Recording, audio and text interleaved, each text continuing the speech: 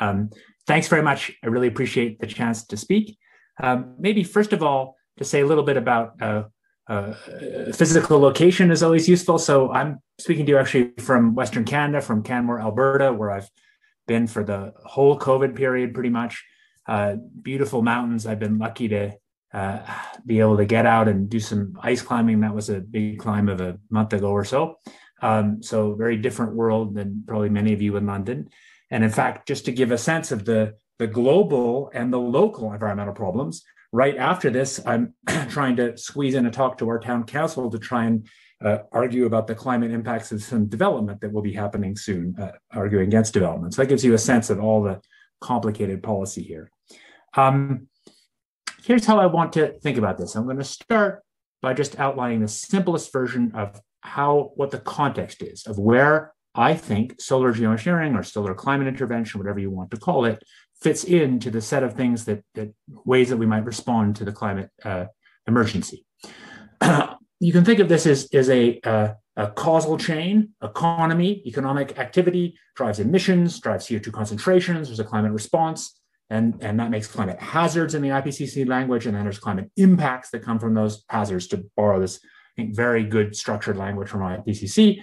And there are basically four things that we can do to intervene in that chain the thing that we absolutely must do, in my view, one of the few things you can say with confidence is decarbonize the economy, switch over the industrial infrastructure of our economy from high carbon to zero carbon.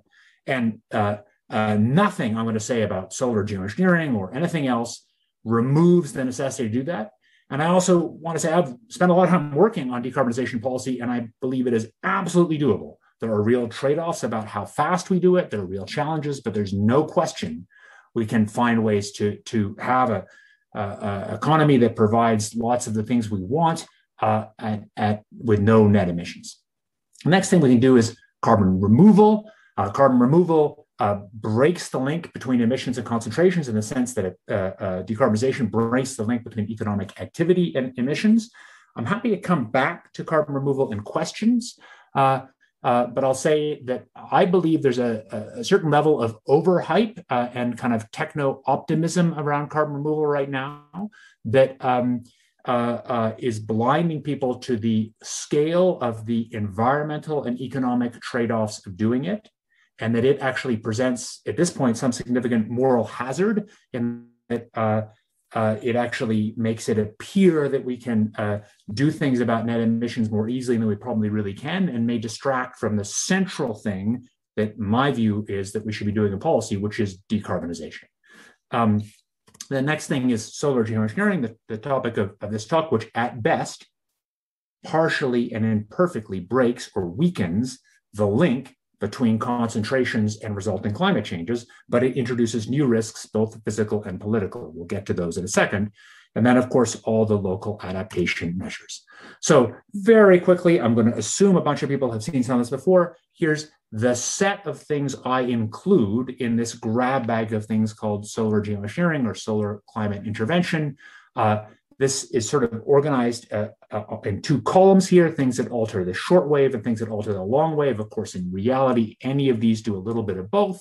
But from my point of view, while these things are very different in their uh, risks, costs, technical uncertainty, there's some uh, continuity between them in terms of the way they fit into the, the larger set of things we can do about uh, climate and and the way they bear certain sort of similar risks and, and, and technical uncertainties. Here's a little bit more about how I think about the, the trade-offs of them from a paper and, and actually philosophical transactions of a couple of years back. Uh, uh, happy to come back to this in background, but I think I'm simply going to assume that most of you have heard a fair amount before about details of some of these technologies. I'm going to start by talking about what the risks are and giving you something which is pretty new, a taxonomy I've been working on that tries to lay out one structured view of how to think about the overall risks of these technologies. Then I'll discuss some evidence about what the benefits of them might be. Then talk about uh, uh, policy and what I believe are the hard policy choices around building a serious research program. And then I'd really appreciate uh, questions because, from my point of view, the questions and dialogue about this are really the most important thing. So, here's a kind of top level view of, of this uh, uh, taxonomy of risks. So at the top level, I have basically four categories of risks physical risks, as opposed to political risks, of benevolent deployment. Benevolent doesn't mean omniscient. That includes errors and all the normal accidents that come from complex systems. Then there's a set of risks around inducing conflict. Then there's a set of risks of reducing mitigation, which is, I think, often not quite correctly called moral hazard. And then there's risks in changing the relationship between humans and the natural world. So let me dive into these a little bit. Um, for benevolent, for the physical risks of benevolent deployment, I believe there's three top level categories. So one uh, is the risks of making the radiative forcing. Uh, uh, you know, is very common in in, in um, climate science, climate dynamics. We think about really dividing up uh, um, uh, climate forcing and climate response. Of course, that division isn't perfect because there's uh, feedbacks and connections between them, but I think it's a very useful division. So to me, there's one set of risks that are the risks of any particular way that we would engineer or alter the radiative forcing, intervene in the radiative forcing. And those risks are, of course, very much dependent on the specific way you uh, uh, alter the radiative forcing. They uh, are almost completely different for different categories of solar geoengineering. So I've just listed a few there. You can make a long list. Of, we've got lists of hundreds. Um, but the obvious famous one, the risk of ozone loss from putting uh, sulfates in the stratosphere, or the increased methane lifetime that might come from adding uh, iodine from sea salt from, from marine cloud brightening. That's just scratch, scratching the surface. Then there's a set of risks that come from the climate response. And to me, the risk there, said carefully, is exacerbation. So if you think about some uh, radiative forcing from solar geoengineering, that radiative forcing will reduce the net global average radiative forcing. That's the whole point. But it's not anti CO2 that radiative forcing is not the exact opposite of the radiative forcing from CO2. And so we shouldn't expect the climate response to be the exact opposite. In some places, the climate response will be to drive some climate variable back towards pre industrial, which is moderating climate change. But in other cases, it may drive some climate variable away from pre industrial, which is exacerbating climate change. So increased droughts, for example, would be a risk, or precipitation reduced below pre industrial reducing precipitation is not a risk, that may be a goal. If, if precipitation is up from increased CO2 and you are pushing it back towards pre industrial, if climate risk is proportional to the distance away from pre industrial, then, then that uh, is not a risk, but it would be a risk if you're moving, moving the precip below pre industrial. Um, then the third category, which still count to me as the physical risks of benevolent deployment, are risks that come from accidents any complex technological system has all sorts of accidents and has, I think, a kind of a normal accident mode one can think about. So that includes the um, uh, termination due to a failure of the, of the deployment system, uh, as well as deployment system errors. Again, there's a, a, a bunch more one can say in detail. I want to give you a sense of the complexity underneath.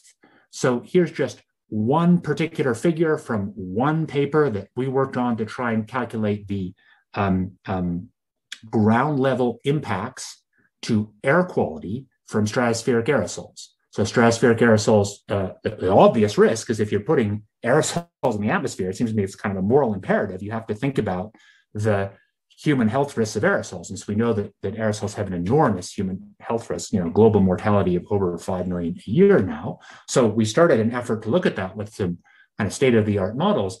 But the more we, we worked on it, the more we realized it was very complicated because, well, uh, we thought about just this direct risk that you know putting aerosols in the stratosphere are coming down to the surface they're a health hazard and we use the standard health metrics it turns out that these indirect pathways are much bigger uh, both for particulate matter and for ground level ozone so that's just one little uh, example scratching the surface and it's an example that shows that well you can i think and it's useful to divide up the risks of making the radiative forcing from the exacerbation risks that is the climate response you can't completely untangle those two. They're, they're inherently tangled. Okay, so now induced conflict. It seems to me there are really two categories of risks here. One category of risk, the obvious one, is weaponization. And that's been a concern that goes back really to the 1960s, uh, uh, where there was a, a, high level concern about um, weaponization of, of, weather and climate control. This was formally a kind of a top uh, level uh, at the science establishment of both the US and the USSR at the time. Uh, some of you may know that the, the US actually used uh, weather control as a, as a weapon in the Vietnam War over the Ho Chi Minh Trail. And as a result of that, we have the ENMOD Treaty. Um, there's ideas about counter geoengineering. There's ideas about deliberate termination. So, so you'll notice that I do not have termination risk as a top level risk because I don't think it is. I think it, it really depends on how it happens. So I've got it in two different places. If the termination is deliberate, that is somebody blows up the system um, or, or, or, somehow interferes with force in a malevolent way, that's one kind of termination risk, and the other kind is accidental, and they are very different in their structure. Then there's the, the question of exacerbation of existing conflicts. Even without active malevolence, simply adding the uh, solar geoengineering might exacerbate existing conflicts. One way to think about this is a kind of crowding out effect, to use the economist language, that there's limited political attention and trying to both solve all the stuff we have to do about cutting emissions and all the other problems the world has. Adding solar geoengineering just makes it uh, harder to get to solutions, would be the, the concern here. Then there's, you know, what for many people is the central concern, I believe, which uh, I'm calling here reduced mitigation uh, um, uh, or moral hazard. I believe there's really several different things under here that are that are distinct. Um, one of them is a um, uh, um, a, a collective versus private interest conflict. So private interests, oil companies or petrostates, uh, have an incentive to exaggerate the benefits of solar geoengineering uh, uh, because they don't want to see emissions cuts, uh, and they will exploit that uh, uh, in some way. But then there's a separate kind of collective addiction problem. A fundamental fact is is is cutting emissions provides this very long-term benefit, but that means a lot of the benefits of cutting emissions are spread in the far future. Whereas solar geoengineering produces a short term benefit to the extent that it does, we'll get to that in a second, but no long term benefit. And so there's an obvious kind of addictive risk, and, and hence these, I think, quite useful analogies between uh, um, solar geoengineering and the idea that you have some kind of um, methadone or, or um, uh, morphine or something to mask the pain of some medical condition, but not actually dealing with the underlying condition. So I think there's definitely a collective addiction risk. And then it's important to say that, that it is rational to decrease CO2 emissions in an, in an optimal policy sense in re, if there is solar geoengineering. That is, if you are choosing your um, speed of emissions cuts based on some trade-off between the cost, social, both direct economic cost and, and other social environmental costs of very rapid emissions cuts, against the benefits. If you're doing some trade-off like that, if solar geoengineering reduces in any way the risks from from uh, climate, then it's actually rational to cut emissions a little more slowly. You still have to cut them, but a little more slowly. But that means there's more CO2 uh, uh, than there would be in a world without solar geoengineering, and that has long-term consequences. Finally, there's a set of risks that are to do with with humans' relationship to the natural world. One of them is, is the idea that that, that, that there's a, a, larger extent to which you know, human political processes are determining um, weather and, and, climate potentially, and that that is you know in the in the sort of beautiful words of, of Bill McKibben, I think m- makes the Earth feel more like an artifact. It's more like the end of nature. But I'm actually more concerned about a kind of slippery slope to enhancement. So my personal interest in these technologies is purely to uh, as an additional way to reduce the human and environmental risks of climate change. So my view is that a combination of emissions cuts and solar geoengineering might offer us significantly lower risks than emissions cuts alone. But that's just my view. It's completely plausible uh, that these technologies could be used to uh, enhance the climate for human welfare. Uh, if you wanted to maximize global primary productivity, you might want to have higher CO2 than pre industrial and have a flatter pole to equator gradient. I'm not advocating that. I would actually fight against it but uh, uh, there are utilitarian arguments for it. And I think that that's a risk of developing these technologies, that they will be ultimately used for that purpose. So now let me talk a little bit about the benefits. Um, I'm going to do this pretty quickly because I think the bigger issues are really about risk, but I'll, I'll, I'll do it in a few parts. I'm going to show results from a couple papers I've been involved in, but these papers are in fact very similar to many other papers that have been written, and I'll, I'll get to why I think you should take these results seriously in a second.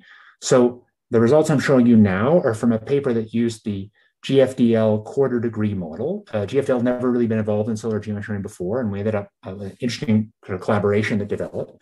That model was uh, there are lots of high resolution models now, but it was an, a particularly good ultra high resolution model that did a very good job on uh, on on extreme precipitation and in particular on tropical cyclones.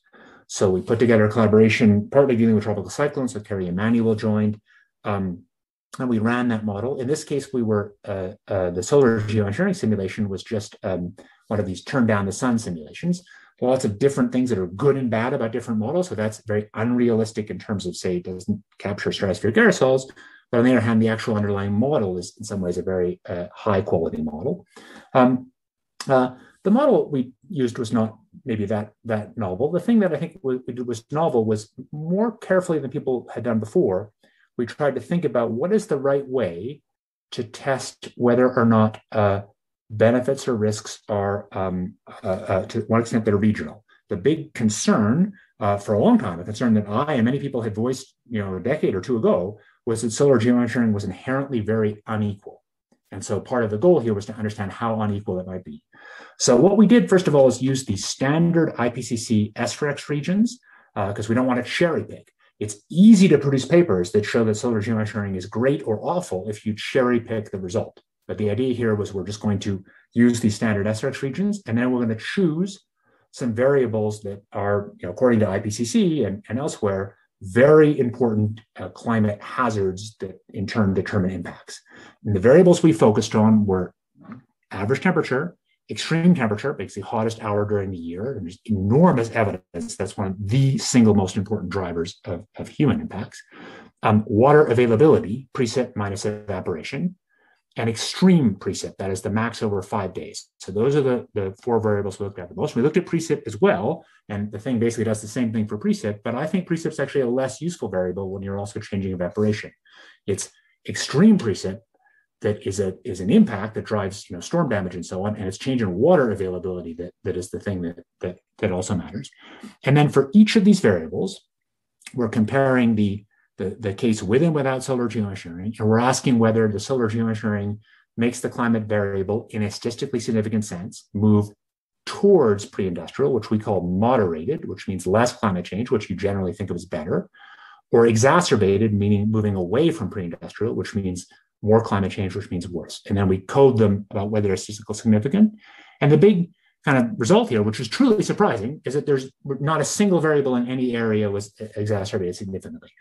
I feel kind of ashamed showing this because it, it feels like we had to have sort of uh, cooked the books to produce such a good result. Um, there are certainly models that produce different results, but but in fact, it is the result we got for the very first try we tried that analysis method on this uh, uh, uh data. And I think this analysis method is is a from my point of view, a pretty sensible way to, to look at it. Um, we recently did this again using the same analysis method. There's some stuff under the hood here that I'm not telling you, but using basically the same analysis method on the uh, GLENS. This is a high resolution model set um, ensemble model with um, stratospheric aerosols using the uh, WACCM high top model at NCAR that has a good stratospheric sulfur cycle. Um, and we did the same thing again. In this case, you do see that uh, P minus E is exacerbated in four locations, but it turns out that in all four of those locations, it actually gets wetter. And this gets to the interesting question about what's better or worse. So many people, people who live, say, uh, here, might well think that a little more water was a good thing in terms of direct human benefits, a little more agricultural P minus E. But on the other hand, if you're a, a Atacama Desert tortoise, you might think it was a terrible thing. And, and so I think you know, my view is we should take mostly the ecocentric view and believe that that that that we want to minimize climate change away from pre-industrial period. Um, then one more uh, uh, thing to show quickly on on potential benefits. Just showing you something new. This is a paper that just got accepted a week or so ago in, in Nature Food uh, that is uh, uses what appears to be, according to its its proponents, the sort of most consistent, thorough crop model built into a modern GCM. It's the the built into the, the uh, built into the NCAR um, CESM model. Um, and there's been a bunch of stuff back and forth on, on validating that model and comparing it to the Proctor et al. results. but I'll just show you the bottom line here. So this shows you a global average crop yield in tons per hectare. This shows you the, the, the, the baseline. This is an 8.5 scenario. This is a 4.5 scenario. And this is the 8.5 plus SRM. The key thing we were doing in this paper, which I think is a useful framing, is to compare um, different forms, in this case, three different methods of solar geoengineering, um, compare them and also emissions cuts uh, uh, uh, when they're doing the same thing in terms of making the same change in net radiative forcing. So basically, in all of these, we're going between RCP 8.5 and 4.5, and basically comparing the effect of doing that with emissions cuts to the effect of doing that with these different kinds of solar geoengineering. And there's pretty interesting results about the effect of local relative humidity, but the net effect is that solar geoengineering is actually more effective in protecting agriculture than is an emission cut for the same uh, uh, change in temperature or net radiative forcing. So why should you take any of this seriously? An obvious answer, an obvious question that many people have is to say, well, these are just model results. Well, the answer is, of course, they're just model results. But at some level, the same is true about our projections of future climate change. And I think the challenge for those of you who might really want to say these results should be just set aside is to think about how you can set these results aside and not set aside many of the kind of core results uh, of climate change. It's important to say that I've shown you some models, there's a whole bunch more, but what there are not are papers that use uh, uh, modern climate models, uh, uh, use solar geoengineering in the sense that I'm talking about it, that is, as a supplement to emissions cuts, use it where you're doing pretty even uh, uh, application north to south, east to west, zonally even application. There's, I think, no models that do that, that that produce really substantially different results than I'm showing. That is, results that show uh, uh, no, no or small benefits of solar geoengineering or very unequal benefits or very large harms. What we do have is models that show that there are ways to do solar geoengineering that produce terrible results. No question. If you do it only in one hemisphere, you shift the ITCZ, all sorts of awful results. There's no question you could do solar geoengineering in ways that are enormously destructive. But, but that doesn't invalidate the claim that if you did it in some way that was attempting to be uh, uh, beneficial, the benefits could be pretty large. But the underlying question really is how confident we should be. To be clear, all major climate models have been used for this now. The results are consistent between climate models. There have been, you know, of order many hundreds to a thousand papers that have addressed this. But I still think there's lots of room for deep systematic error, and I'm happy to talk about some specific technical versions of that error. Uh, one of the things that concerns me a lot is there some is there some deep bias in climate models that makes the results of solar geoengineering look better uh, uh, in the model than reality. The other obvious question is: Is it groupthink? Is it that those of us working on them have all kind of adjusted the models to produce these really good results? I think there are ways that we can get at that, and that is basically by having a diverse research program with lots of groups whose goal it is to, to find problems with these simulations. Okay, now I want to spend the last five or eight minutes or so saying a little bit about the public policy of this, and then really get going in a, a conversation to hear hear questions and, and hear comments from the audience. So the first comment is just about my personal view and backed up a little bit now by some integrated assessment modeling work, but I don't personally have that much confidence in that anyway, um, about how it might make sense to use these things over time.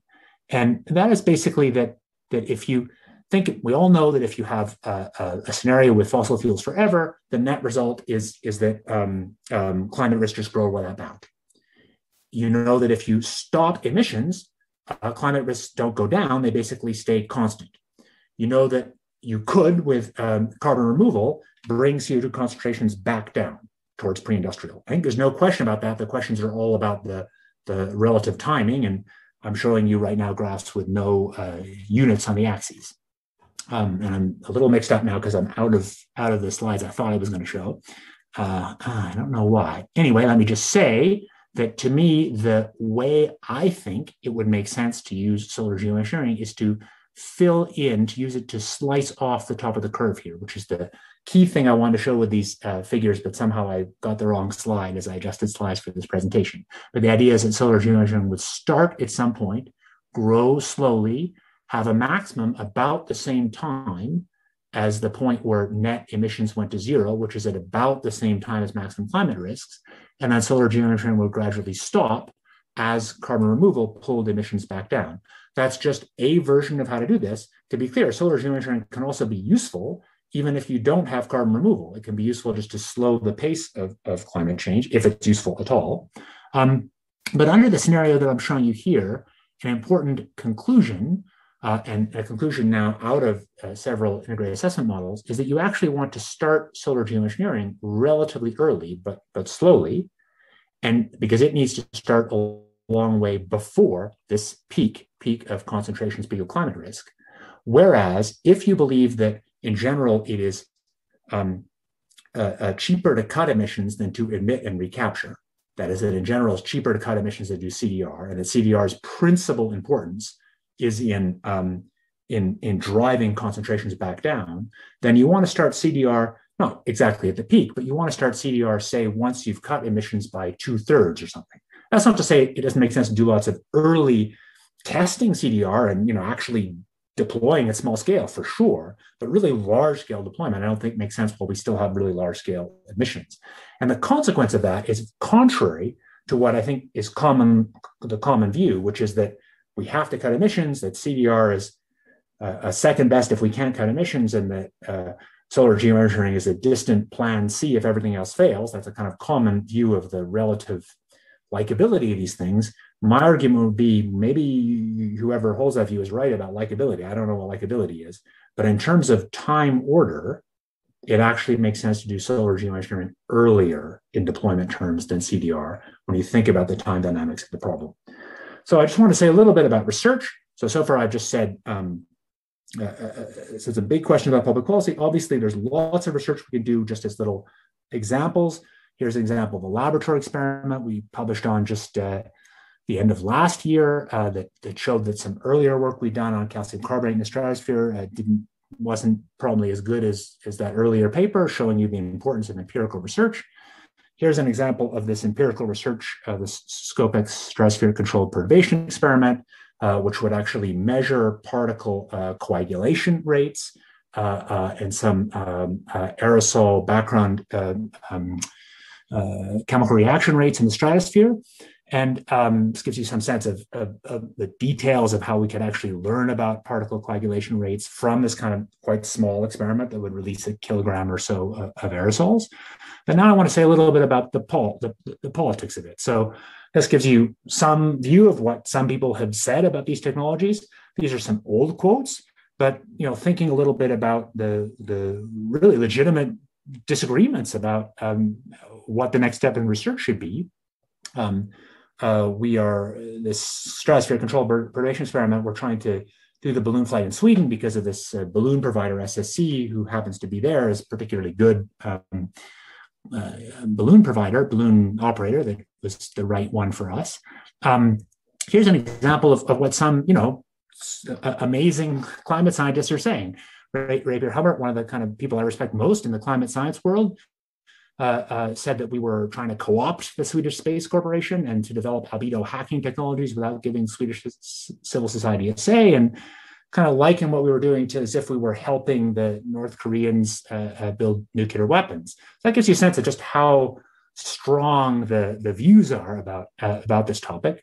Um, so I'm going to close with the following. Um, this is an old slide, but one where we now have some a little bit of new uh, new quantitative answers. So one very simplistic way to think about solar geoengineering is as a kind of two by two matrix of second order errors. Uh, obviously, it's not really two by two, but but you can think about solar geoengineering as either working or not working, and you can think about your expectation of it as either working or not working. And I think what almost all of us are worried about, any sensible person is worried about, is dangerous overconfidence. Worried about that, that we assume solar geoengineering works, we find that it does not work, and then we've made all sorts of, of errors and caused huge harm on account of that. I think that's a completely legitimate concern. But I think it's important to think about the other sides of this concern.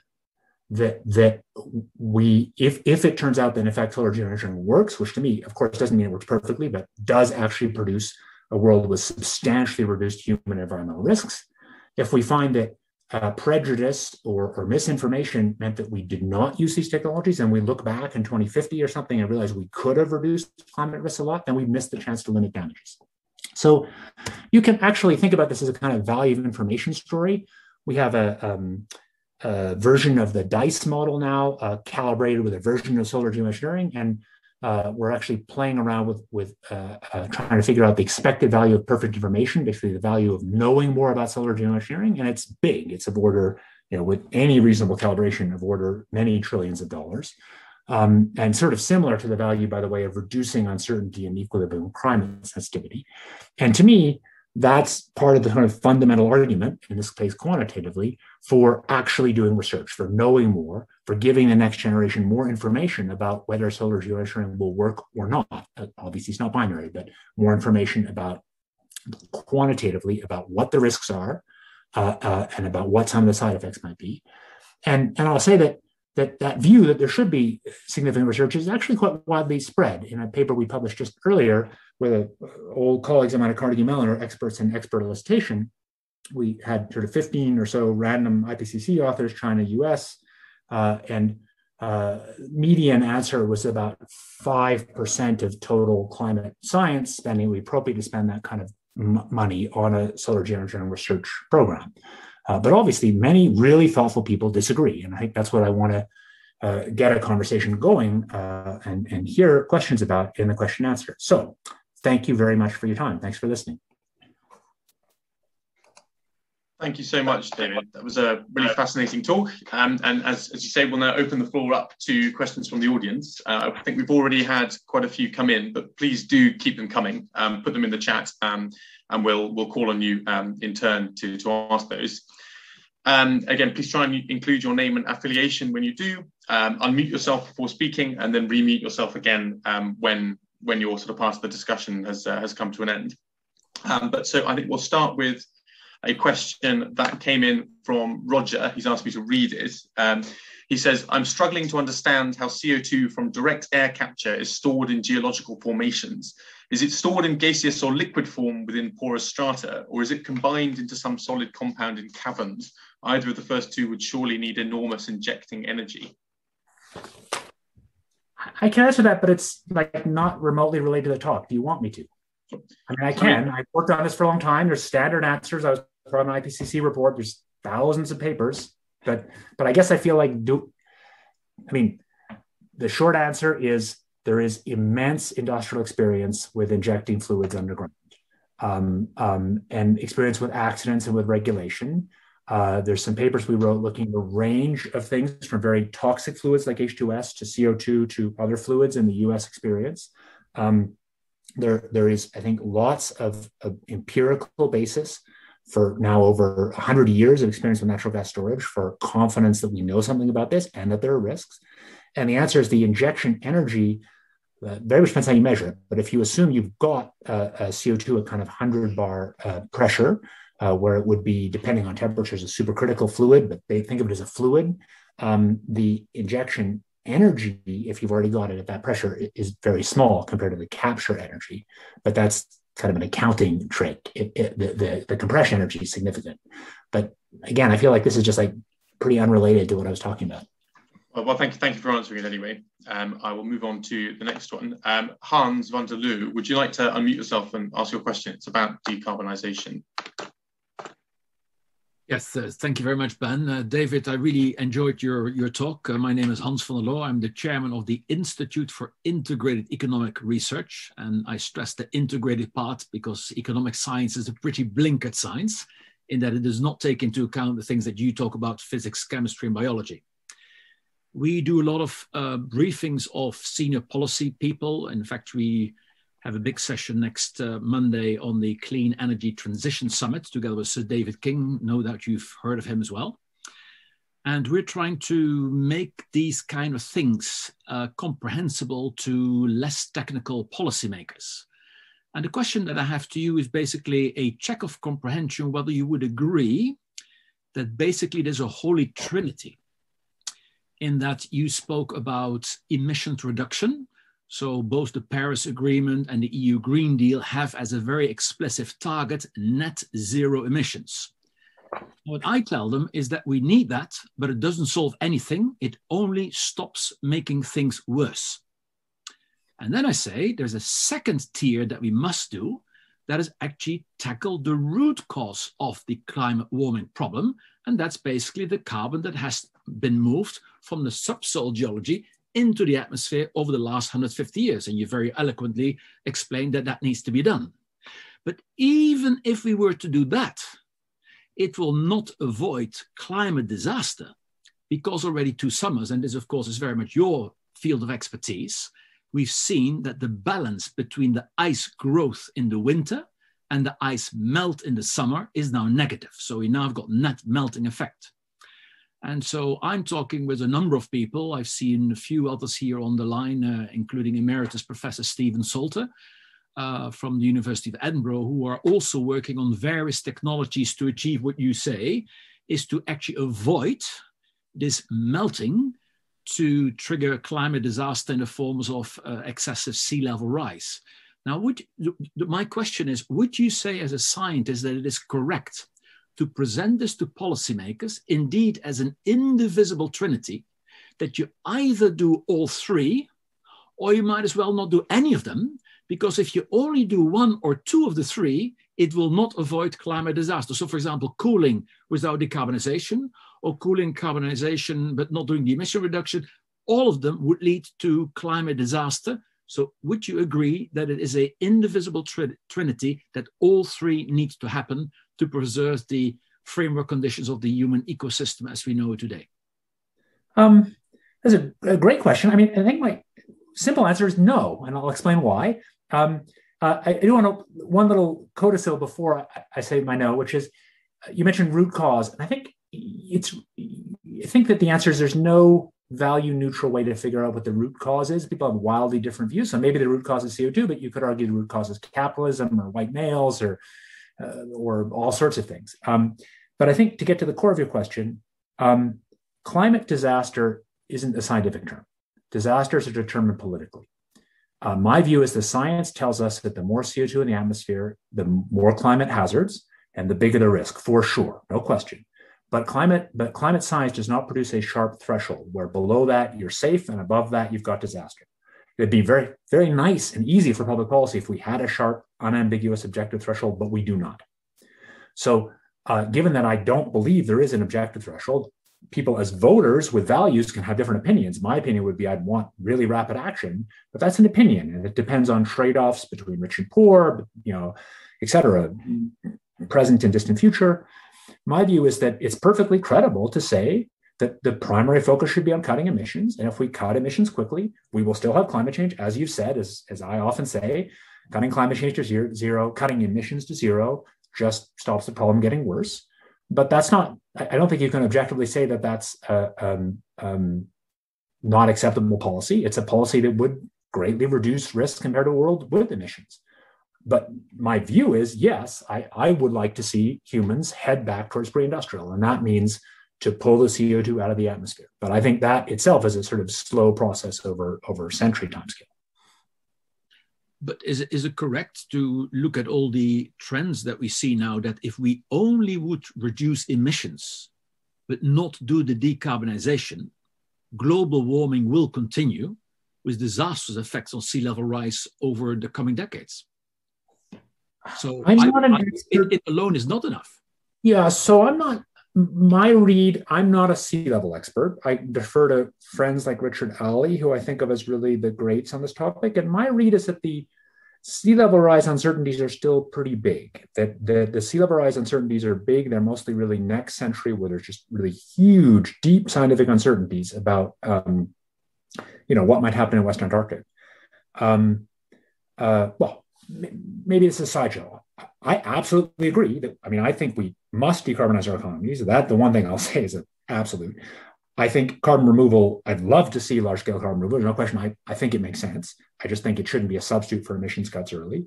And I think solar geoengineering is too early to say that we must do it. My view is that there's a strong case for doing research seriously.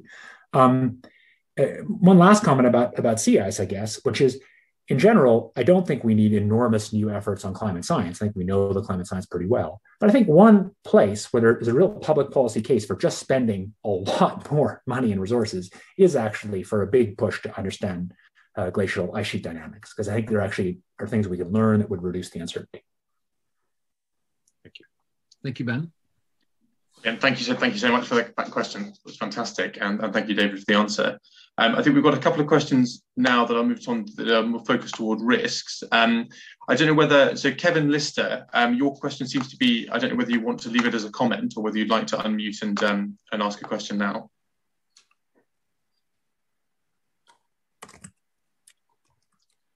I think we'll leave we'll leave Kevin's comments as a just as a comment then. Um, Dave McEvoy, um, you've got a question. Would you like to unmute yourself and then ask it, please? Yes, thank. Thank you very much. Yeah, my name is Dave McEvoy. Uh, I'm the chair of economics here at uh, Appalachian State University. And, and, as an economist, you know, some of the things that uh, we've been thinking about on this is the, the free driver hypothesis and, and variation in kind of optimal levels. And so I really like to see this uh, slide you put up with the different types of risks and thinking about risks when deployment is benevolent. And I was just wondering in the modeling and in your thoughts, is that benevolence like a global decision maker or is this at the regional level? And and because it seems to me that it would matter quite quite a bit. It, it might matter quite a bit. I think um, I think, uh, um, um, I mean, to be clear, I think benevolence, I've been struggling with what words to use, and I've gone back to dictionary definition. I think benevolence is a good word, but it often connotes like, you know, some kind of perfection. And I definitely don't mean it that way. I mean, I mean, real world groups of people in the political world we actually live in trying to apply these things in a way that's useful, but understanding that there will be divergent interests and mistakes and so on. I think that that's the way I think about it. But but I think there's a difference between trying to do things in a way that is broadly useful and I think the key thing is with some kind of minimax principle that I think would be what I would advocate for global governance, which is doing it in a way that has has utilitarian benefits with the minimum harms, some kind of Pareto optimal principle. And I feel like that's the kind of thing that if we do need global governance for deployment for solar geoengineering, no question. And it feels like a core principle is don't make any area worse off. And obviously, there's lots of uncertainties about what area means and so on, but I think that's the kind of principle that, that ought to be at the core of this. Um, I do think there's really interesting trade offs between local and global SRM. Uh, many people's natural thinking is that local SRM is somehow much easier to govern or less risky. So you'll see people promoting ideas for adding reflective silica aerosols to Arctic sea ice or doing marine cloud brightening in little areas. And you'll hear people claim, well, it's just in a little area, it doesn't have a big global risk. If you just do something in a little area, it doesn't have a big global risk. That's true, but it also doesn't have a big benefit. And I think you have to compare things on an equal basis, comparing them for equal global or large scale benefit.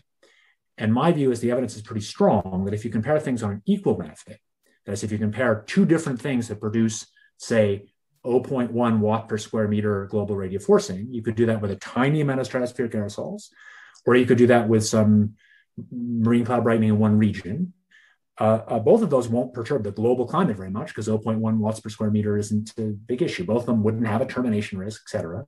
But a, a, strong local forcing from marine cloud brightening, let's say, or any of these local things, will produce teleconnections, will produce local, will produce non-local climate changes that are significant or may.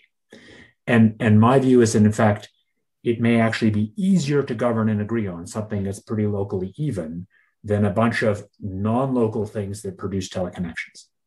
And it's also true that most of the things that are local are inherently short lifetime. So cirrus thinning or marine cloud brightening have a lifetime of kind of dayish.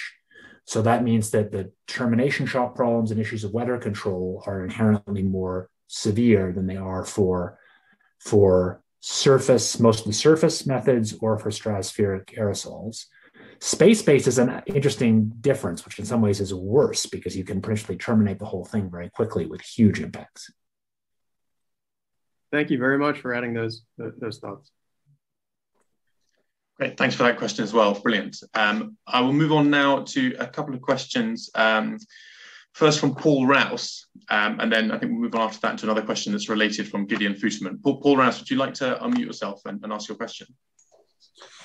That's great. Thanks very much. Thank you, David. Super presentation. Um, try, I'm not sure I uh, crafted the question very well, nor whether I can oh, articulate. Paul, you've, you've eaten part of the mushroom and you're shrunk. I've shrunk? Crikey. Go ahead, sorry. How's that? Am I big and scary? No, no, no, now you're the Paul. I know. No, big and scary. Okay. Yeah, that, so I'm, I'm, not sure I articulated, wrote the question clearly, or I can articulate it very clearly. But um, I was just thinking around the question of how do we move the research forward from the, the modelling to take physical science, natural sciences outdoors.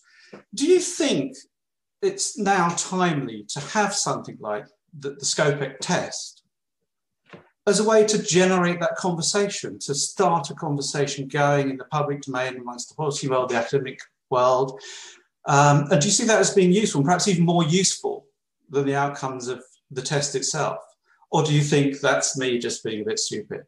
And the other question, First of all, I would really, I mean, this is a contested issue, uh, but I think test is really not the right word. To me, test is something you do late in the development of a technology where you've got a well developed technology that you are thinking of deploying and you're testing whether it works. Think so about that as experiment. you know, phase three of a vaccine trial. Yeah. And uh, this is absolutely not that. What we're doing at ScopeX, we're not using hardware that's relevant for deployment. Nobody talks about deploying from balloons. They don't, they don't work for deployment. We're not using a sprayer that's relevant for deployment. We're doing something that's focused on a very narrow set of scientific questions, really about the way aerosols interact in plumes uh, and aerosol chemistry. And so to me, the way I think about it is that's physical experiments, which uh, uh, will be used to uh, improve our models, which in turn predict the large scale response. And that's very much common to the way lots of other perturbative experiments in geosciences work. So there are lots of examples of geoscientists doing perturbative experiments. Uh, biologists do them, where you you know, manipulate the ecosystem in some way, release some material to test some local relationship between two variables that then you build into a global model, which depends on these local observations to predict large scale impact. So to me, that that's what we're doing. So I think a test really isn't the right view, and and uh, my view is that that that um, there there isn't, from my obviously not widely shared view, a sharp line between doing indoor research and outdoor. They're both research. There's a sharp line between doing deployment or anything that has a large scale impact, uh, but but but research always should have some empirical basis uh, from my perspective. Um, I think what maybe you're implying is there needs to be some kind of global agreement about research. Uh, and, and my view is that I really believe in the principle of subsidiarity, that we need global, uh, you know, things should be governed as close to the, the ground as they can be. And uh, for something like deployment of solar geoengineering, you need global uh, agreement. But for research on anything, uh, uh, unless that thing produces some very acute risk from the research, research should really be governed more locally. What I was trying to get to is, do you think the the the main value from small experiments like that will come not so much from the experiment itself and the new knowledge that it generates, but from the conversation that it generates? From the debate that it generates as a way of allowing the opening up of the conversation, which may or may not allow research to accelerate. I'm, I'm skeptical about that. I, I think that the um, I think that in some ways the I think that to me the big questions about solar geoengineering are really these big questions about deployment, about managing moral hazard. I mean, so so to me, no. I think that obviously some of the opponents, people who really believe there should be no research in solar geoengineering, um, are, are trying to block ScopeX and other small experiments because they legitimately believe there should be no experiments. Fair enough. But to me, I don't see that as serving um, as I see the public interest that much. Obviously, I'm not determining, I'm just telling you my views. Because in my views, the big questions about solar geoengineering are really about overconfidence, about whether us scientists are too confident and wrong. And the other big questions are all about governance of deployment and about moral hazard and all that set of questions. And to me, these experiments don't really bear on either of those things very much. The experiments will help, I think, reduce overconfidence. Because I think the big one thing you learn is experiments produce messy, unclear answers. And, and, and experiments show that things are not as simple as they look in, in pure models. So my view is if people just rely on theory, they can be too excessively overconfident that the thing doesn't work or overconfident that it does work. And empirical experiments are kind of messy in a way that I think is healthy and reflects the real world. So to me, that's a benefit of doing these experiments. But I think, I think I worry that this focusing the larger, legitimate, hard questions about solar geoengineering into a battle about whether small experiments should happen, I actually don't think is that helpful to public policy. But you know, you could say I'm just self-interested. Okay, that's fine. Thank you very much. Great. Thank you, Paul, and thank you, um, thank you, David. Um, Gideon, uh, you mentioned your question was sort of a follow-on from that. Would you, you still, you still like to open it up and ask it? Well, my question was actually a follow-on to Paul's second question, which you didn't get a chance to ask. Um, but um, it's essentially uh, related to this idea of ramping up. And I was wondering if ramping down would look different to ramping up. And I'm suggesting not just from a scenario, but obviously the rate where we remove might change and say the rate of that change. I'm talking about if the rate we remove after net zero mirrored the rate we emitted before, would the ramping down of SRM look different to the way the ramping up would? And what sort of tests um, and research beyond models, and obviously including models as well, could we do to kind of discover the answer to that question if it's not already been done? Do you mean the technical aspects of ramping up and down, or how quickly that it, it ought to happen? Well, I kind of meant the technical uh, aspects, the, the, the broader kind of climate impact of the ramping down, uh, and and how quickly it ought to happen. So, so I'll share one slide. So, so there are now a few uh, integrated assessment models that are sort of toying with these things, and I've been involved in one of them. Uh, uh, doing this wrong. Sorry. Let me just share this one slide. Um, so this is an answer from some model variant. And remember, these models are ridiculously simplistic, and also they're modeling things from the perspective of a global benevolent dictator, which we most obviously do not have. Um, but but in these models that are tempting, but th- these models are that's very important. These are the models that are so important to policy and shaping social cost of carbon. These models do show that the ramp up and ramp down looks roughly symmetric but I could easily tweak parameters in the models and make it look asymmetric. So I don't, you know, that, that's kind of based on what you put in. Um, I guess to me, the big difference would be technological change. Um, that I think we're going to keep learning as we do this. And, and for me, if I think of the sort of peak of, of concentrations as being kind of a 100 year peak ish, well, 100, I mean between 50 and 150, but it's not 10 years and it's not a millennia.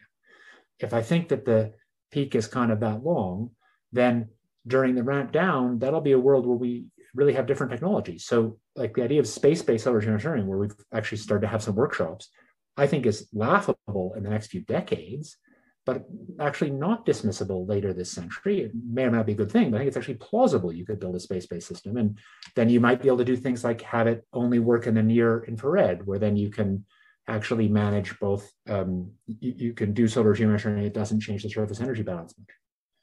So, so I think the answer is different technologies.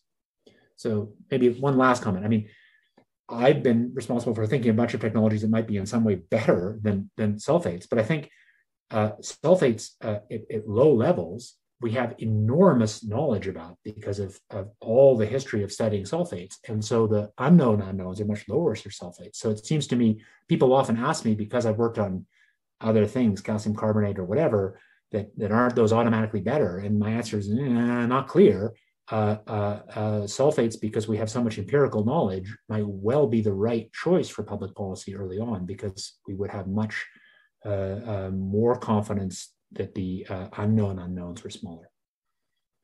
One thing I was wanting to get at the question was also the kind of the nature of the climatic response to this, which is let's say a specific point on the ramp up where you've got specific greenhouse gas concentrations in the atmosphere and specific amount of um, you know radiative forcing reduced by the um, solar geoengineering on the way up. Would that how different or how uh, or what how similar would that climate look to the same set of conditions on the ramp down with the same concentration? Yeah. So so so for for for climate in climate models, the hysteresis isn't very big. The big hysteresis, the places where you really see differences, are in ice sheets. I think one of the big questions that, that people really haven't looked at, we, you know, Richard Alley and I and some folks have talked about is like, if you had West Antarctica beginning to, to, to slide into the sea, does cooling the climate down with solar geoengineering stop it? I think the answer to that question is, is really nobody knows. There isn't a, a basis to figure that out. And that's a place where hysteresis might really matter. And there are also lots of climate impacts, ecological impacts and human impacts where hysteresis matters. But um, climate, there seems to be less hysteresis, I'd say. Great. Thank you very much, Gideon, and thank you, David. Um, David, let me just check in with you quickly. How are you doing for time? Are you looking like you're needing to head I'm off. Happy to, happy to keep going. I lost my opportunity to speak at the town council, Okay. so that means I'm happy to give another 20 minutes or something. Okay, well, I'm sorry about that, and, and thank No, you very no, much I- for. I- That was, I, I warned them, no problem. Okay, well, th- uh, we're very grateful for your for your time, and I'm sure, as you can tell, lots of people are very interested in um, asking. So I will move on then to a couple of questions from um, Valerie Lavina. Um, Valerie, would you like to unmute and um, and ask your question, please? Uh, hello, Valerie Levina. Uh, I would like to answer, uh, ask about the um, choice of country. You mentioned that balloons in Sweden are available, but I thought that um, in California you would need uh, uh, more urgently to try some cooling because of the obvious uh, issue with the forest fires. And also Swedish area may be affected by Arctic jets and uh, all other mm, climatic uh, responses that may uh, bias the experiment if you perform it in those altitudes. And also I would like to ask about assessment of uh, life cycle of aerosols, because obviously you need to mine them somewhere, uh, uh, achieve certain um, roughness, deliver them, it's all energy related. Was there some life cycle assessment performed with the energy cycle? Thank you. Got it. So I, I didn't quite get some of the first part, but just to pick up, um, um, the, the ScopeX experiment that we're proposing in Sweden is, is a tiny scientific experiment. Obviously, there's very many people who, who oppose it, and maybe it shouldn't happen or won't happen. But just to be clear, we're talking about a kilogram of materials. There's no climate impact. Uh, uh, not even, I think, the strongest critics would argue that. And um, what we care about are some really particular things in the stratosphere that are most of all about shear, actually. Um, uh, and so we're operating about 20 kilometers, and what we care about is um, doing it during stratospheric turnaround where there's low um, wind speeds and having low shear, um, and some issues about turbulence where we're making some new measurements with some um, German collaborators uh, about local turbulence. Uh, but those things are pretty generic to that part of the middle or lower stratosphere, and we don't think it would make much difference uh, where it uh, where it was done um, and pretty irrelevant, I think, to anything about kind of uh, climate in Sweden versus California. Um, I guess the other question you asked was about life cycle costs of producing aerosols. The answer is almost nothing has been done on that. I mean, I think for sulfur, it's pretty clear that they'd be very small. There's been some crude effort. I have done a simple life cycle on delivery vehicles. Uh, but for some other more fancy aerosols, there's been no work on life cycle and it would need to be done. But uh, if you deposit certain amount, how long it will be staying at particular altitude and how often you need to recharge it. And when you deliver aerosol, it should be of particulate uh, quality. It cannot be kind of too big or too small. Otherwise it will deposit too quickly or it will be not delivering sufficient uh, density of this layer. It is a certain technology that should be maintained uh, Yes. So, so, so, so the lifetime of aerosols in the stratosphere is about between one and two years, really depending on injection location and altitude. And um, there's significant uncertainties in stratospheric circulation and age of air, but those uncertainties are, are being reduced. Um, you're absolutely right that aerosol size matters a lot. Um, there's some opportunities for aerosol size control. So in experiments, numerical experiments, that we're doing with Max Planck Hamburg and some colleagues at ETH uh, and the NCAR model, we're looking at whether you can exercise some control of the aerosol size distribution by uh, injecting H2SO4 aerosols in an aircraft wake, which makes some uh, nucleation mode particles. And that gives you some uh, size control. Uh, and it does appear to be true. There's some a paper that we wrote about a decade ago, but now we're seeing that that result is validated in these large scale 3D models. But that's where you'd really need to do experiments. I just uh, think that it's necessary to take into account all embedded uh, energy that uh, you use to launch this material. Yeah, that, that actually has been, that, that, yes, that's a pretty easy calculation. Email me, happy to do it, but that turns out to be kind of thousand to one. It's not an issue. There's lots of bad things about solar geo, but that's not it. Thank you. Thank you very much, Valerie. Um, right, next, um, I'd like to ask Edward Cookler if you'd like to unmute yourself and ask your question if you're still here. Yes, I'm still here. Sorry for the darkness. Um, basically, in terms of these uh, calculations, I see cost benefits. uh, for CO2 in, in terms of thermodynamic terms, um, but I didn't see any in terms of chemical terms. For example, there's acidification uh, of aquatic and marine systems. And uh, I was wondering if that was included, all, all of the chemical uh, costs have been included in the, in the models. Uh, and if, if the uh, uh, subsequent mit- mitigation of CO2 would, would improve the benefit or reduce the cost and therefore allow for greater benefits. I'm not sure I completely understand. I mean, to be clear, nobody has done or is claiming some overall model everything cost benefit calculation of solar geoengineering. Indeed, I'm skeptical such a thing would make sense. Um, physical models that that many people have used to study it do have carbon cycle models in them, and um, and indeed one thing that people often forget is to first order the ocean acidification and carbon content of the atmosphere is determined by net emissions, of course. But actually, solar geoengineering, by reducing carbon cycle feedbacks, does reduce atmospheric concentrations and therefore ocean acidification a little bit for a given um, um, given anthropogenic emissions trajectory. But I'm not sure if that was answering your question at all. I don't think I totally understood your question. I think you covered it. Thank you. Okay. Great, thank you. Thank you, Edward. Thanks very much. And I think the next question I'd like to move on to, please, is from, I apologize if I pronounce your name wrong, um, Stuart Hazeldine. Yeah, hi there.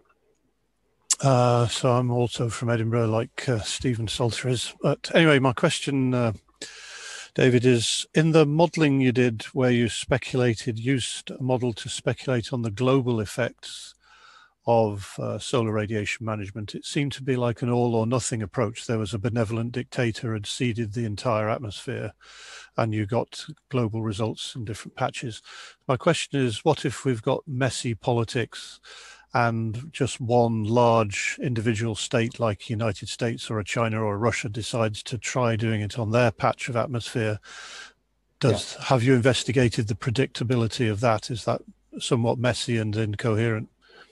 Yeah, that's a that's a great question. Um, uh, to be clear, I'm I'm a little skeptical that people can model all these political. Um, uh, sure. Uh, but I think there's useful things you can say. So to to I think there's useful things you can say that do not assume benevolence and do not assume everybody works together.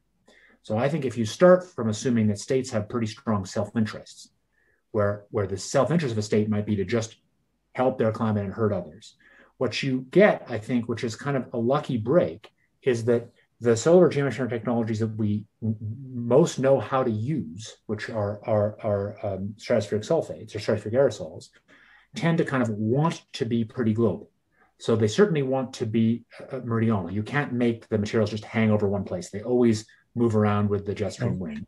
You can, we've actually done a, um, uh, um, transfer function perturbation of these models. And it turns out that for solar stratospheric aerosols, you have more or less four knobs or three knobs when you do the sort of empirical orthogonal functions. You can make the equator more or less than the poles, and you can make one hemisphere more or less than the other. And that's kind of about it in terms of real controls. Um, I think if you think about it from the perspective of one self-interested state, knowing the political reactions. It's important to say that states are self interested, but they think about political reactions. If you have a choice of either deploying pretty evenly globally and providing your country with X benefit, or providing or, or deploying in a way that just benefits your country and screws the other people, and the benefit to your country about the same in both cases, and the cost is small, I believe those are actually all the things that apply, then you're going to want to do it evenly anyway even that though you're still a country acting in your self-interest, because you know that if you just do it locally and screw the other guys, they're going to come back at you somehow through trade sanctions or they'll block you or whatever. So I think what we think about is kind of mini-lateral coalitions, where groups of countries would choose to do this. And luckily, because of the physics of the stratosphere, they might choose to do it in ways that were pretty even, because they know that if they're doing it in a way that makes one area really badly off, there's they can confidently expect there will be political pushback. And that's not a claim about benevolence, it's a claim about realistic self interest in a multipolar world. Okay, so that's a sort of game theory type approach in a way that everybody benefits ultimately. Yeah, and I think there are lots of to be clear, it doesn't mean it doesn't mean you get to a perfect answer, but I think that the obvious concern if there was a solar geoengineering technology that really strongly benefited one place and made other places a lot worse off, there's no question there'd be real risks of it being used. But luckily, the technologies that we're actually developing mostly seem not to have that feature, but mm-hmm. maybe they will turn out to have it. There's no question we need global governance. But, but on the other hand, but lots of things that humans do muddle through without perfect overarching global governance still achieve reasonable outcomes. Yeah, I mean, we're busy doing that all the time at the moment, I guess. So. Exactly. We don't have a magic global governance for vaccines, but we've actually are achieving an outcome that's not the optimal, but not hideous. Okay, that's great. Thank you for your answer. And thanks, Stuart, for your, for your question. I thought that was a really interesting one. Um, I'd like to move on now to, to Richard Simon. Uh, Richard, if you'd like to unmute yourself, please. Hi, David. Thanks very much for the talk. Um, my question's about what are the next steps needed on solar and geoengineering. You mentioned research funding. What else is there to, to go forward? Do we need a conversation at COP around um, the value and likability of these technologies? Uh, do we need policy on deployment, or does kind of the low TRL level mean that we're 20, 30, 50, 100 years away from deploying some of these? There's not a low TRL level. For, for, for stratospheric aerosols, you basically could do it now in a crude way. And I think everybody's looking at it seriously agrees with that. Um, uh, for other other ones, they're very low TRL levels, or or it depends. But I think that's not the core problem. Um, I think the answer, and sorry to use jargon, technology readiness level. Um, um, so I think in answer to your bigger question, I'd say the following. I think there's two broad things we need. One is some kind of not necessarily global, but something that's a closer to global consensus, which might be a UN General Assembly resolution or something else, could be declarations by major states that restrains unilateral action. I think the key thing that everybody's scared about is unilateral action, or one of the key things to be scared about. And I think there needs to be something that restrains early unilateral action, and that without asking for some global consensus, which is never going to happen, uh, uh, uh, tries to set a political climate where there's a real possibility for research, but research under a kind of a some soft um, um, barrier, so there's a, a, a so it doesn't easily slide into deployment. I think that's really crucial, and so that's at the level of international politics um, or governance. And then I think the other thing we need is just a broad research program and um, uh, I said something about the scale research program I think is appropriate. I think it's important to say you could make very quick progress, in my view, because this is not a wholly new technology. This is not, in some ways, a new technology at all. It's really adapting a bunch of individual technologies and pieces of science we already have for aerosols in the troposphere or aerosols in the stratosphere, for making aerosols, for atmospheric science, for remote sensing observation that's applying those things to this uh, uh, new problem. Um, I think I'd say one thing about the design of research program. I think it's important that research programs not be single centralized entities because politically, single centralized entities tend to come up with single answers.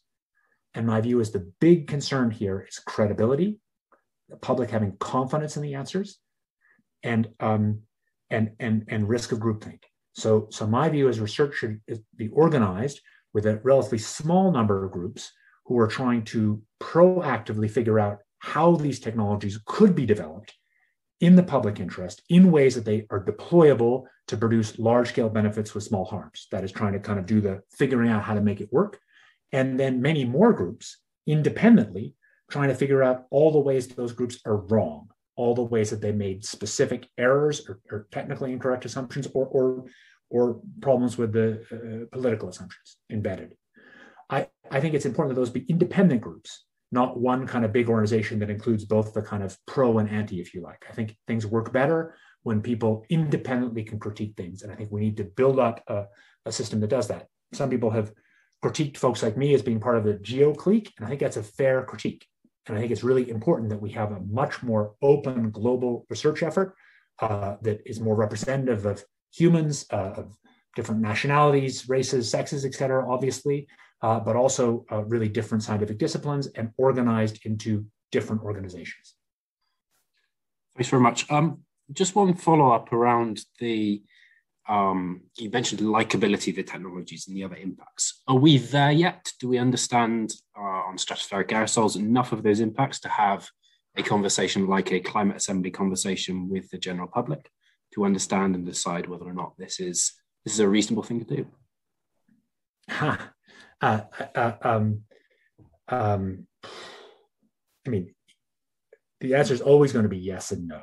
So, I mean, the answer is the, the conversation is happening in the general public now, um, um, or in lots of different publics. Uh, I would say, I would caution that, that people often want to know what the public thinks. And there's a lot of evidence from risk perception and study of public understanding of new technologies that the public doesn't usually have robust views of things that haven't been well debated. So, to take parochial US examples, people do have pretty well formed opinions about things that have been actively debated for decades, like abortion or gun control. But for new technologies that really haven't been subject of active debate, like human reproductive technologies or gene drive for mosquitoes or solar geoengineering, uh, uh, people don't have opinions, and it's possible to develop uh, public or another, depending on how you tweak the survey. My view is that experts also were kind of captured by their own little in-group viewpoints.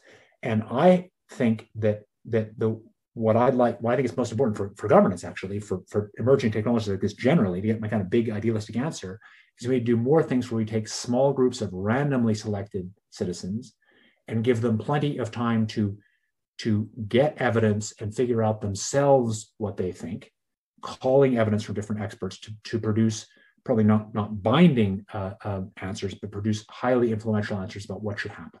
So I would put much more faith in small groups of people like that than I would in my peer experts who are kind of captured in their own uh, groupthink. So if, you, if you're looking to how legitimately to make decisions about this technology, that's that or other similar emerging technologies, I personally favor methods like that. Many thanks. Thanks, David. Uh, thank you very much, Richard. Um, we're on to our penultimate question now, then, uh, which is from Stefan. Um, Stefan, would you like to unmute yourself, please? Hi there. Um, I was just having a just a quick question about has there actually been direct comparisons between the impact of geoengineering on health and ecosystems versus the climate? So, if it was to end up we're in a position where we're going to do these geoengineering um, uh, experiments, should, should we say that actually we might be worse worse off versus with with the climate impacts or vice versa? By experiments, do you, what do you mean by experiment? So um, you were talking about running. Um, you know, we're not going to test it. We're going to do do these experiments, should we say? And then if we do go on go on and test them, have the uh, if you were to run these experiments, has the actual uh, health impacts been? So you said I saw a slide earlier on. You saw there so, might be so impacts of ground level ozone, etc. I, I think experiments are generally going to be tiny because they're trying to understand atmospheric processes. And I think most experiments that people will scientists would want to do on these topics would be at a scale much too small to cause significant impact. So the experiment we're talking about doing in Sweden releases as much sulfur as one minute's flight of a commercial aircraft. Uh, so not zero risk, but it, that gives you a sense of the scale. But actual deployment, are you asking about what the relative risks and benefits are of deployment? Yeah, ultimately, in the end, yes. I have have small experiment. Has this been done on smaller experiments to view what the larger scale that's not it's not that's not the i think i think that's a misconception about you don't just do little experiments and scale them up. That's not how science works for things like this. The experiments are designed to answer questions about specific atmospheric processes and then you use information about those processes in scientific models like like general circulation models to try and predict what the outcome would be. That's what we do for other air pollutants uh, and, and, for climate indeed. Uh, so it's, it's not as if you know, when we're trying to understand the, the current risk of, of, of different air pollution chemistry, for example, we don't just do bigger and bigger experiments. We do specific process experiments to try and figure out what's wrong with our models. And then we use those models to predict what the consequences are of, say, you know, some people believe we should use lots of ammonia as a, a energy carrier to reduce, um, you know, uh, to, to power ships or airplanes. And uh, it's not like we just need to experiment with lots of ammonia. We, we, we have atmospheric models that are calibrated based on experiments we can use to figure out how many people would die from particulate air pollution uh, given ammonia with some leakage. Is that is that helpful? I feel like we're talking past each other. Yeah, I was um, maybe it's just my language of uh, experiments might have been in, incorrect there, but it was more just um, in in the long term um, so experiments could be done by modeling or it could be done in, in, in person, I was meaning. I don't think I don't think you do a large scale experiment. You deploy. We only have one world, You're not multiple worlds. In the end, there will be deployment or there won't be. And even after deployment, we won't know for sure what the effects are, which is true of any technology. Uh, um, I can give you one slide if you like to try and. I think one one thing I think you might be asking is about the relative scale of, say, the health and air quality risks um, uh, of deployment from what we know now with uncertainties compared to the benefits. Is that a question? Yep. Okay, so I, I can give you one version of that quantitatively. So uh, several groups, including uh, a group I collaborate with at MIT, has done a bunch of work on this air pollution risk.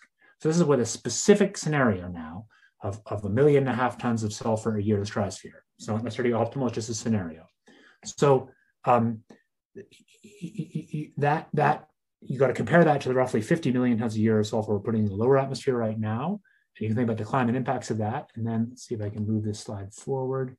Yeah, so for mortality estimates, um, the mortality estimates that from our paper, but there's about four papers that have had similar numbers. The mortal, the direct mortality estimates from that are these these numbers that are of order tens of thousands, and that some of them are negative. It's kind of complicated because it reduces some mortality, increases others. And those numbers are tiny compared to the expected benefits of solar geoengineering on, on heat mortality. Uh, tiny mining meaning by several orders of two orders of magnitude. So, so the evidence from several papers, but we don't have a single complete paper that does it, is that if you use solar geoengineering to reduce peak temperatures on a global basis, late in the century, you'd be uh, reducing peak temper mortality from, from, from peak temperatures by numbers that would be much, much larger than these uh, indirect air impacts from air quality. Is that the kind of question you're asking? This, sorry, yeah, I worded it incorrect. This is exactly the kind of question I was meaning to, yeah. To so the answer is this is a crude, nobody's done this in a systematic way. This is like a crude slide, but our paper doesn't even really have this comparison in. You'll notice my slide, I'm quoting the 60,000 a year mortality. This is from one paper that I really trust in the US, but I couldn't actually find a good paper for global mortality. So I'm kind of some of what I just said is kind of a guess. I think it's a challenge to the community to begin to actually do these things in a serious way. Yeah, thank you. Great, thank you, Stefan. And we've got one last question, if that's all right, David, um, which is from sure. Jake, who's an environmental engineering student here at Imperial. Um, Jake, I, uh, if you'd like to unmute yourself and ask, um, that'd be great. Hi, um, my question is quite general, really. It's just that how can young people, such as myself, that I'm a current master's student, how can young people get involved in uh, SRM and, and the SRM sector really that's that's kind of can develop in the future? Well, first of all, I don't think it's a sector because I don't think it's ever going to be a business on a significant scale. I think this is this is really an application of existing. It's really mostly about about science uh, uh, and some technology development. And my guess is if it, if it ever is done, it'll be done by governments. Uh, uh um, uh, but I think the answer is is getting involved in earth and atmospheric sciences or the public policy side is, is the way to do it. But the other way is politically, is, is you know, we sort of hinted at it in this conversation. There are very strongly divergent opinions about whether there should be research. And there are serious, thoughtful um, scientists and serious environmental groups that argue that there shouldn't be research. And um, obviously that's not my position, but but but they do. And I think one thing that that youth can do is is make their own voices heard and and um, say what they think, whatever it happens to be. I think the youth voice in this debate has really been missing. I've been talking with some people from uh, the Sunrise Movement in the U.S. and I've got a really interesting, diverse set of opinions. Actually, much more positive than I expected. But maybe that's a selection bias of the ones who come to talk to me. But uh, I think getting getting the some youth voice to weigh in would be really important. Now, I guess I'll end with one interesting thing there was a study done by um, Masahiro Sugiyama at University of Tokyo, who was trying to probe um, whether opinions about solar geoengineering research and deployment were whether basically people in countries that were more vulnerable, poorer, were more in favor or less in favor than country richer countries. He focused on Asian countries. And he used a very interesting sample, which was to use undergrads, which is a nice way to control for age and roughly control for education in doing his survey.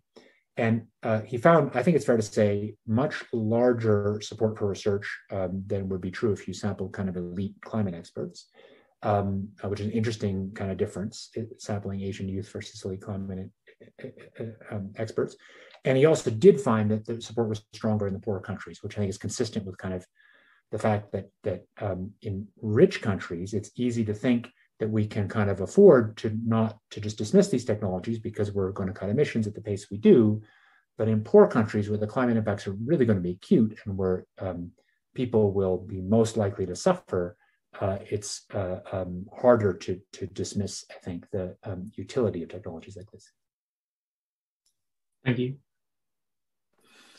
Brilliant. Thank well, thank, thank you very much, everyone. Um, I'll just wrap up by saying thank you so much to David for um, for giving us so much of your time. I thought the talk was was really interesting, and I, I really produced a you know a very sort of thought provoking discussion afterwards. I hope hope you think so as well. Um, Next month, Same Changing Planet seminar uh, will be with uh, Joyce Msuya, who is the Assistant Secretary General of the United Nations and Deputy Executive Director of the UN Environment Programme. That'll be on Wednesday, the 28th of April at 4 p.m. And Joyce will be speaking about how we can build a green economy in the aftermath of the COVID 19 pandemic. Uh, I'll just finish um, this event by again saying thank you so much to David for joining us, uh, and thank you to everyone else for um, being part of the audience. I, I hope you've enjoyed it as much as I have. So thank you very much. Thank you all for your time. Thank you very much.